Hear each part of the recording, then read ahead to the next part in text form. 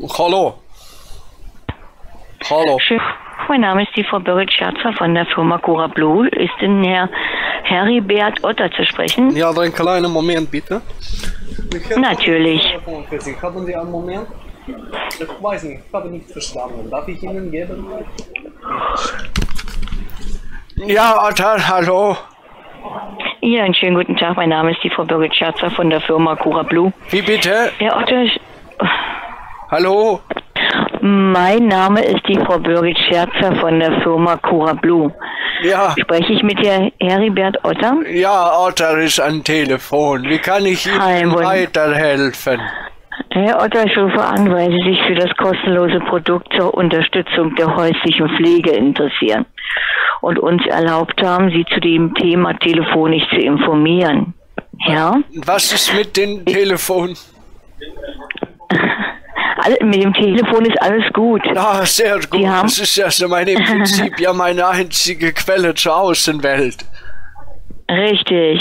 Und Sie haben uns hier angerufen, damit dass wir Sie für das kostenlose Produkt zur Unterstützung der häuslichen Pflege interessieren. Ja, Und wie uns, ja, und haben Sie uns ja erlaubt, Sie anzurufen. und was möchten Sie mir jetzt bitte sagen? Äh, ist, denn, ist es aktuell, dass Sie nur eine Person mit Pflegegrad pflegen? Ja, Ja, Oder sind Sie selber? das ist im Prinzip ja beides, wenn man das so will. Ah, Also der, der, Ja? der ich passe ja im Prinzip auf, auf meine Frau, die Brunhilde, auf und der Dimitri, mit dem Sie gerade gesprochen haben, der hilft mir so ein bisschen. Es ist im Prinzip Mhm. Ah. so eine Volksgemeinschaft. Ah, das hört man doch gerne. Ja. Ja. Und dann wissen Sie ja auch, dass Ihnen Pflegehilfsmittel seit Januar im Wert von 40 Euro zustehen. Was bedeutet Umsonst. Das ist ein, das ist, das sind kostenlosen Anspruch auf Pflegehilfsmittel wie Einmalhandschuhe, Desinfektionsmittel, Mundschutz, Flächendesinfektion, Schutzschürzen und Bettschutzeinlagen zustehen. Ja, und so Sachen wie Pfefferspray und was man da halt so alles braucht, das ist da auch mit drinnen. Das weiß ich nicht, ob das da mit drin ist. Ja, aber Ja. Hand Handschuhe sind immer sehr gut. Wenn ich mal so eine, so eine Langeweile-Periode habe, wenn das Telefon mal Mhm. nicht klingelt, dann das, das mag mein Enkel so, dann puste ich das auf und dann male ich da lustige Gesichter drauf. Weißt du, super. Ja, Ja, und wenn Sie das möchten, schicken wir Ihnen einmal pro Monat eine der Boxen zu. Ja, mit die Handschuhe und alles mit Mundschutz. Und das Tolle ist, das gehen wir alles, wir können alles zusammen machen, somit, dass Sie in Kürze Ihre erste Cura Blue Box nach Hause bekommen.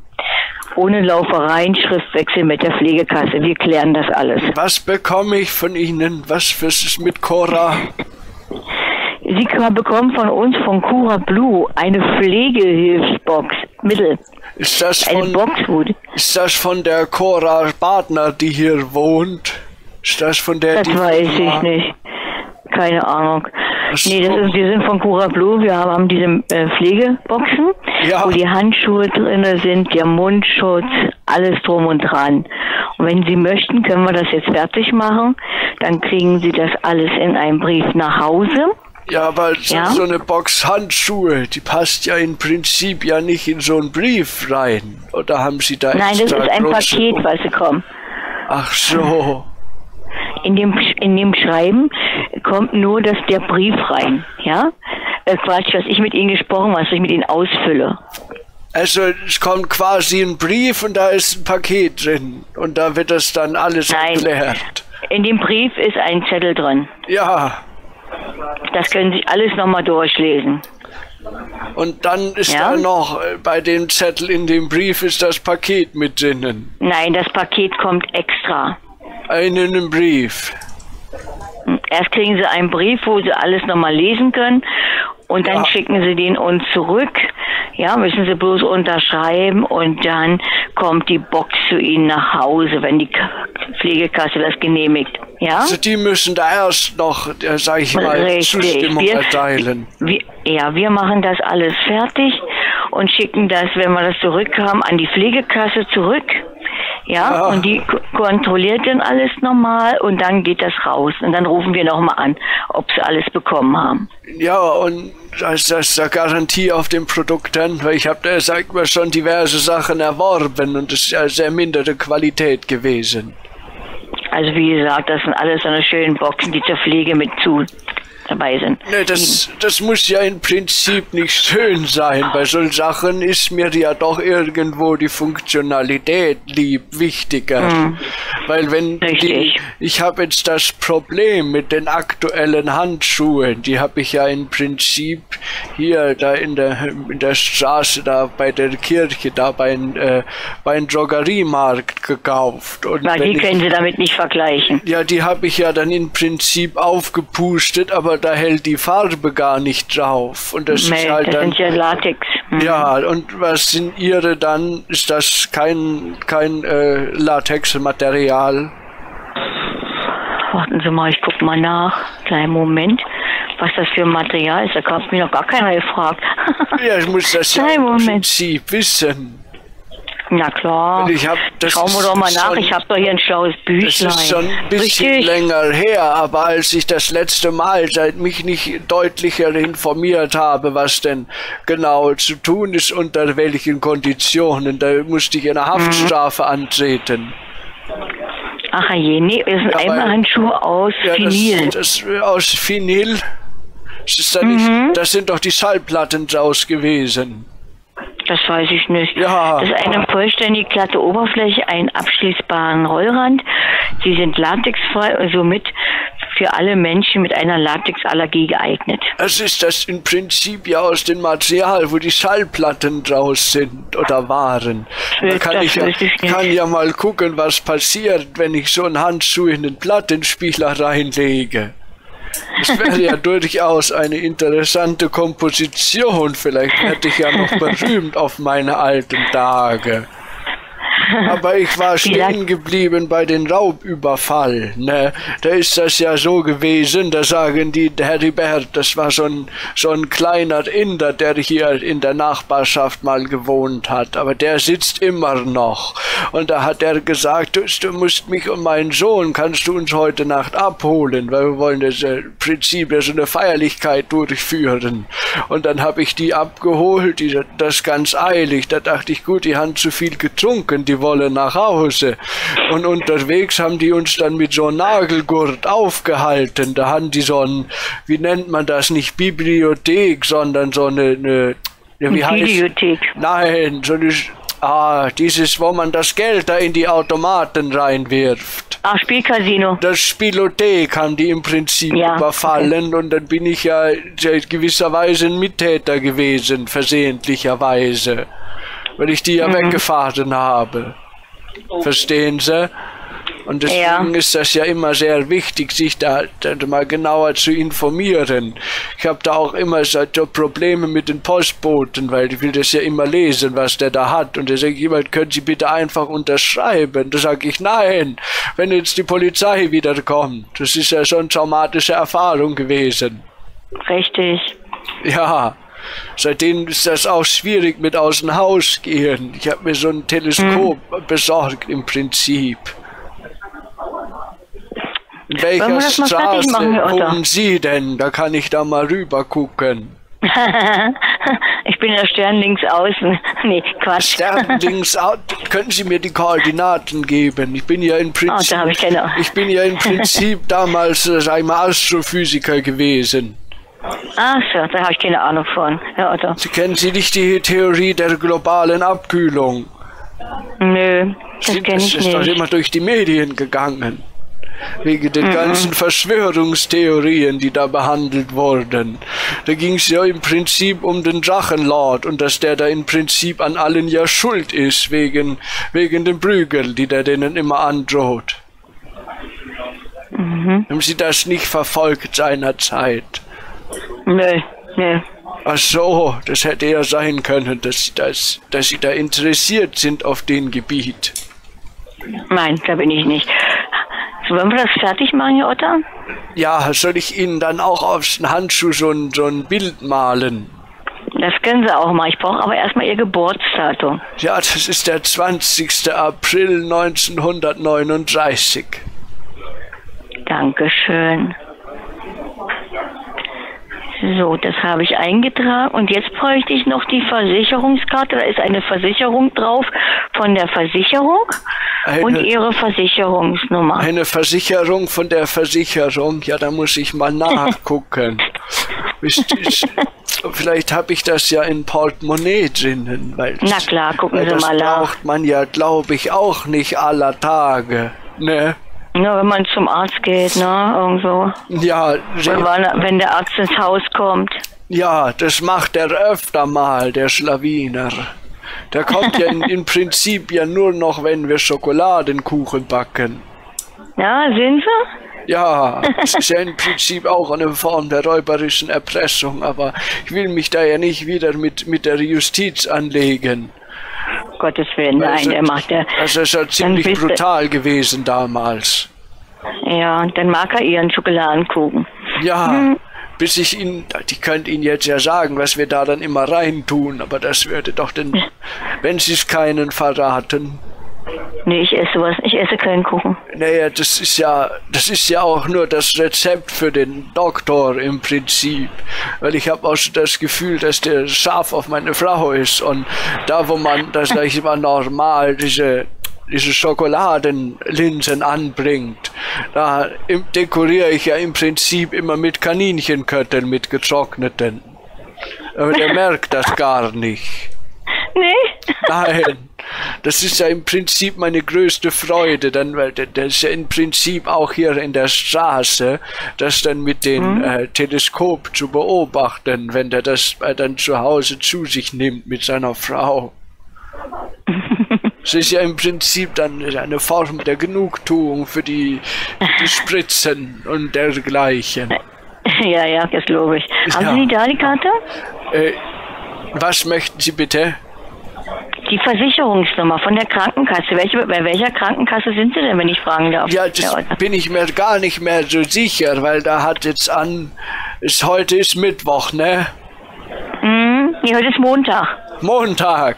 Ja, dann hat, Hm? wenn heute Montag ist, dann, ah, jetzt muss ich mal überlegen, dann ist das an, also von heute an, wenn wir jetzt mal davon ausgehen, dass heute Mittwoch ist, dann hat an Montag ja im Prinzip da so ein junger Mann angerufen, der Herr Braun hieß der, glaube ich, und der hat mich ja im Prinzip davon in Kenntnis gesetzt, dass ich bei der Krankenkasse ja im Prinzip immer zu viel bezahle. Und er wollte da im Prinzip sei ja eine eine Verbesserung der Konditionen für mich erreichen. Woher weiß ich denn jetzt, äh, welche Agentur da jetzt für mich zuständig ist? Also Sie haben da eine Krankenkarte und da steht das drauf.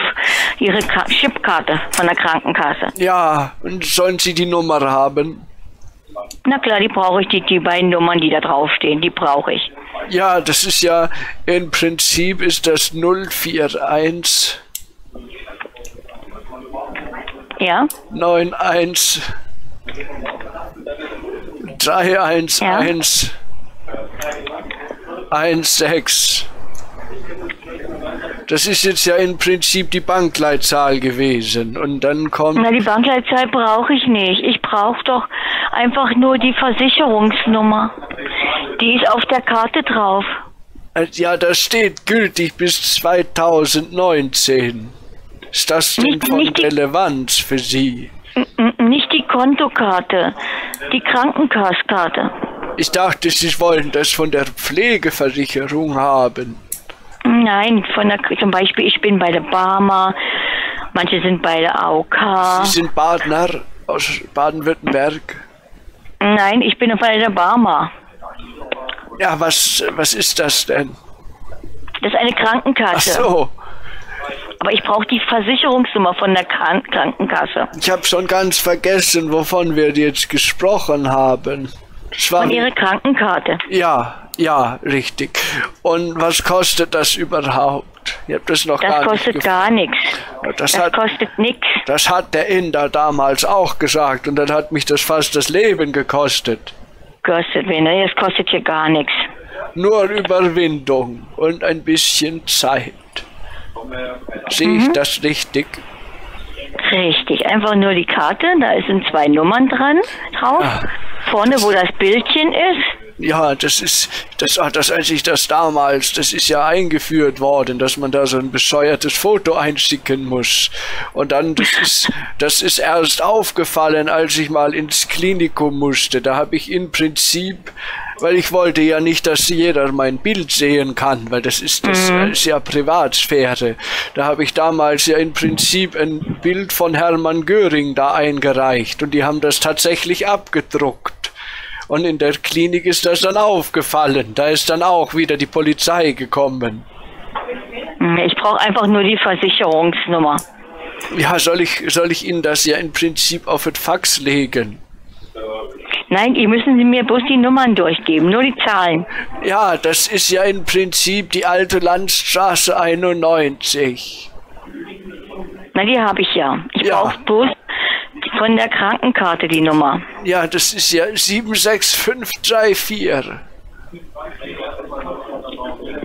7, 6, 5, 2, 4. Nein, 34. Das ist Baden-Baden. Das habe ich doch. Ja, sehr gut. Das ist da die Postleitzahl. Ich brauche die Versicherungsnummer. Ja, das, das habe ich Ihnen doch jetzt schon mehrfach gegeben. Nein, Sie haben mir Ihre Bankleitzahl gegeben. Und Ja, wollten Sie zuerst die Kontonummer haben? nein, die Kontonummer brauche ich nicht. Ich brauche nur die Versicherungsnummer für eine Krankenkasse. Von der Versicherung, ja, das ist 040 Ja, 431 ja. 970 Hm? Und Ihre Versicherungsnummer fängt mit einem Buchstaben an. und dann kommt noch 793. Aber warum? Sie müssen doch Ihre eigene Telefonnummer kennen. Warum muss ich Ihnen die sagen? Ich will doch nicht die Telefonnummer. Ich will doch eigentlich eigentlich nur die Krankenkasse, Karte, die Nummer. sprechen Sie denn da bitte? Ja, das geht ja im Prinzip um die Bankleitzahl. Das gibt ein Nein, die will ich doch gar nicht. Zahlen. Kann ich mal bitte mit, der- mit der Dame, ist das noch die Dame? Ja, das ist eine sehr nette junge Frau. Kann ich mit der mal bitte sprechen? Ja, aber warum denn? Ja, ich möchte nur einmal kurz sprechen. Hallo Bagatov, wer ist da? Hallo, mein Name ist die Frau Birgit Scherzer von der Cura Blue. Ja. Also ich möchte, ich brauche von Herr Otter keine Kontonummer, ich Ah. brauche keine Bankleitzahl. Ich brauche einfach nur von seiner Versicherung, von seiner Krankenversicherung die Nummer. Aha, solche Anrufe hatten wir heute schon zweimal. Rufen Sie auch aus Bosnien an oder aus Türkei? Wir rufen nicht von der Türkei an, wir rufen auch nicht von Bosnien an, ich rufe aus Hamburg an. Aber Herr Otter steht auf Robinson-Liste. Aber ist egal, oder? Ist egal, also ich melde mich morgen nochmal, ja? Was ist morgen denn anders? Ja, weil ich muss jetzt auch gleich, ich hab gleich Feierabend. Ah, noch bei 18 Uhr? Ja, mein Bus wartet, ich muss mit dem Bus mit. Das Ich bin Buskind. Buschen, dann lass uns schnell machen. Was müssen Sie haben?